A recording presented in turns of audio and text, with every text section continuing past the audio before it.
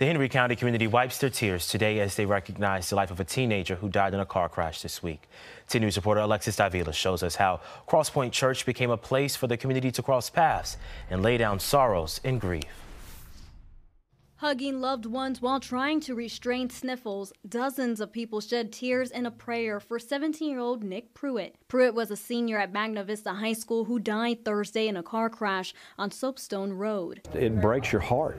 Uh, and it's, you know, it's one of those things where life is so fragile uh, and we never know. And so we've got to love people around us, got to love our community uh, any chance that we can. Hunt helped lead a prayer for each grade level as students and staff held each other other to mourn. Three other teenagers involved in the car crash are still in the hospital recovering. A scary thought for the Warrior community, as Tracy Prilliman points out.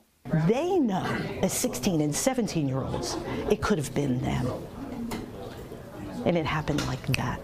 Prilliman says the high school has lost several students due to tragedies in the past two years and noticed they needed an outlet to express themselves. Teachers, students are struggling immensely and our only resort is prayer. It should be our first place to go. But so many times it's our last resort.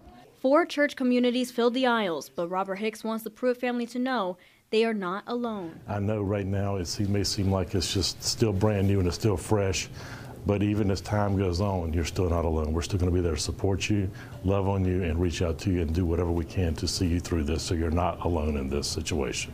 In Henry County, Alexis Davila, 10 News, working for you.